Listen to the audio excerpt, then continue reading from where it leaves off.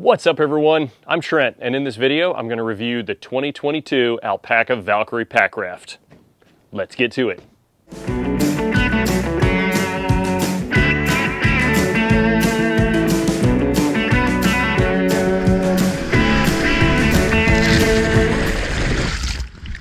This boat is possibly Alpacka's worst kept secret. In 2020, they teased the prototype of this boat with media of some of their team paddlers running some big drops. In 2021, they released a very limited batch to paddlers on a wait list for the boat. And just this year, after lots of feedback from last year's paddlers, they've tweaked this boat and released it as a custom model.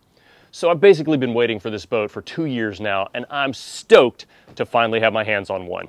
Here's a disclaimer, I'm not an Alpacka team paddler, and I paid full retail for this boat. So this review isn't going to be biased by free gear. That said, this boat is hands down the most advanced inflatable on the market. From its extreme bow rocker to its flattened stern profile, uh, this is an inflatable that was designed to emulate modern whitewater creek boats. This boat features a massive amount of bow rocker. This keeps the bow high and dry rather than plugging. It helps you ride over the top of waves and holes, and when you combine this with the flattened stern, you have a boat that actually skips out of the landing of big drops. Again, this is pretty epic for an inflatable. On the bottom of the hull, Alpacka has changed their standard floor material to a different fabric that is much less sticky than the old floors. This is huge news for folks that like to paddle low volume creeks. This floor allows the boat to slide over rocks much better than any other Alpacka boats. It is still an inflatable and it still gets stuck, but it's a huge improvement over their other models. Now, after three days of low volume paddling with lots of long slides, I've already got a noticeable wear point right here under my heels. So this hull isn't bulletproof, uh, but it's nothing that a patch can't fix, hopefully.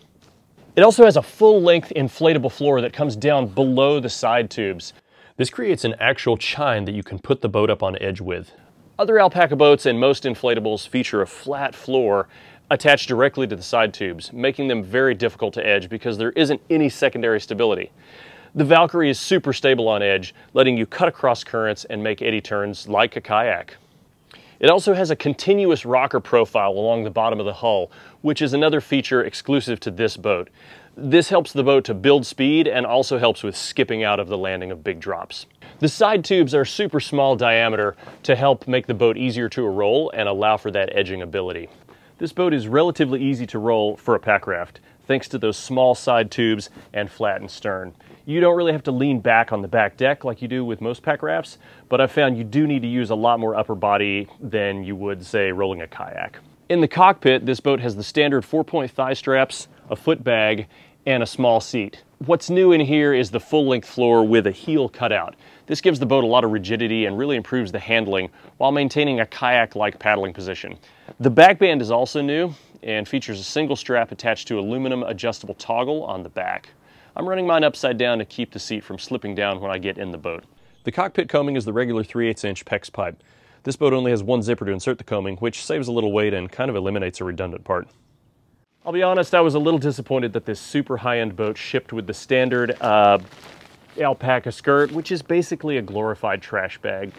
I didn't blow the skirt on small to medium drops up to about 12 feet, but I wouldn't want to run an actual waterfall with this lightweight skirt. Now Alpacka is currently working on a heavy duty skirt for this model, but they don't have an estimate of when it will be available. For safety features, this boat comes with two built-in handles on the stern, which are super nice, a tiny D-ring at the back, not sure what you're supposed to do with that, and two loops on the bow to rig up a bow handle. For accessories with this boat, I added the small internal storage sacks, which are the correct size for these small tubes, and the lap bag.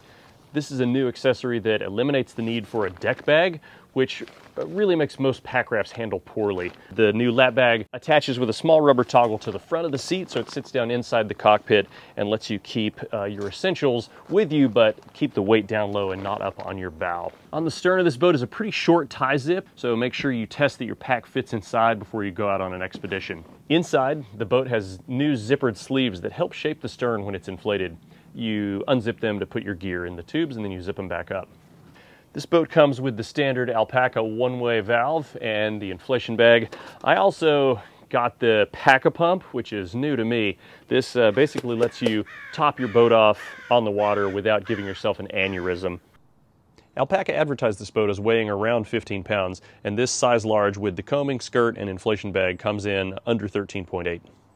On the water, this boat handles amazingly well. It edges, carves, rips into and out of eddies, and skips out of drops.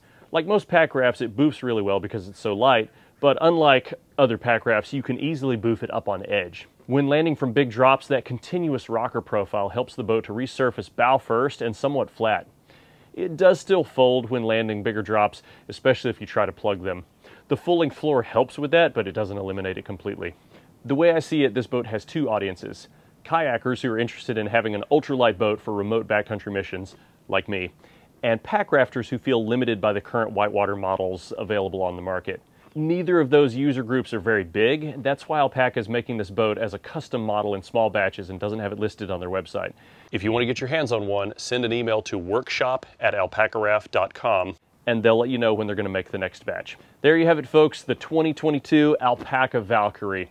It is without a doubt the most advanced inflatable kayak ever made. If you enjoyed this video, give me a subscribe and go follow me on Instagram at Left Coast Adventure. Thanks for watching, and I'll see you on the river.